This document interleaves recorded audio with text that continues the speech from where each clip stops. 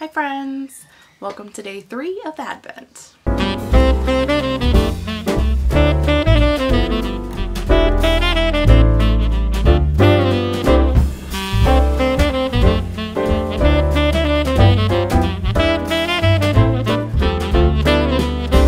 Day three of Advent is going to be one of the questions that you all brought to me through either Instagram or the community tab here on YouTube.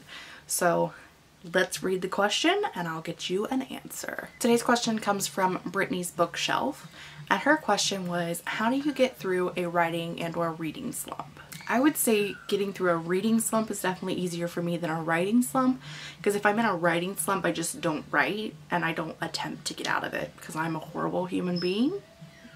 Alright? But I would imagine that if you're in a writing slump, you really just need that creativity boost. So maybe the same would apply for both.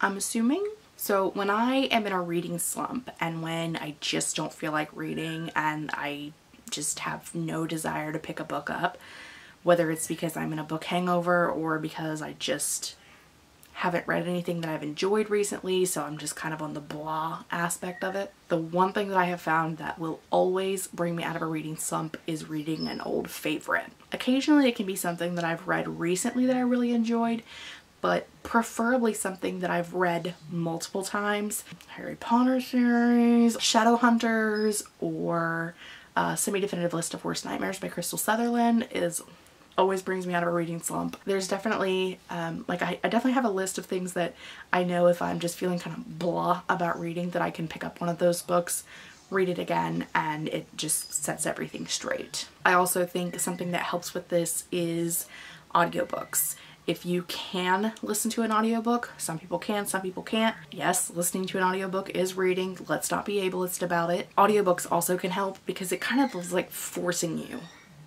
take in the information. You don't get, have the choice to not continue reading the page.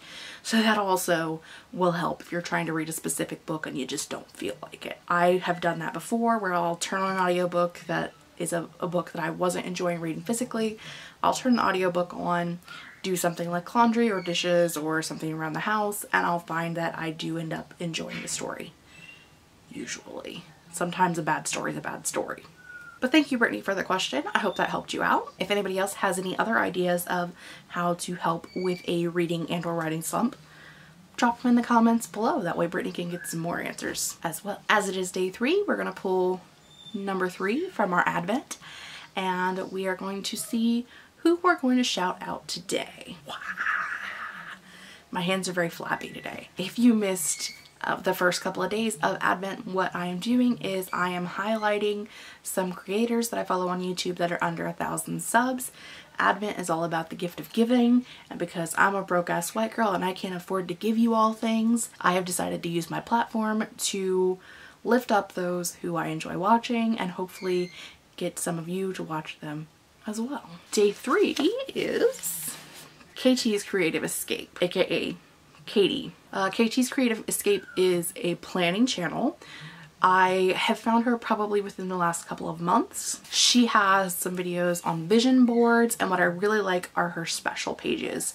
So she also does plan with me's for like the regular weekly and monthly, but she also will do setup pages for special pages like um, most recently she uploaded one for a Christmas movie page to do like a checklist for all of the Christmas movies that you're watching. Um, but there's some other things on there as well. And I personally, because I am kind of burnt out on Plan With Me's, I really enjoy watching the setup of different types of videos. So Katie's been putting out those and I really enjoy watching those. And if you enjoy planning videos, maybe you'll enjoy Katie's channel as well. She will be linked both in the description box below as well as in the cards so that you can check her out. That is all I have for today. Make sure that if you don't want to miss anything that I have going on in the future, including the rest of Advent, that you click that subscribe button down below. And I don't know, if you're feeling froggy, maybe hit the alert button so that you'll get a notification every time I post a new video as they say. You can also hit the like button because when you hit it, it changes colors. I promise, you could try it out. You hit it, blue. If you're colorblind, I don't know what color it goes, but for the rest of us with the regular vision spectrum. Look out for a new video tomorrow, and until then, I will see you guys next time. Bye!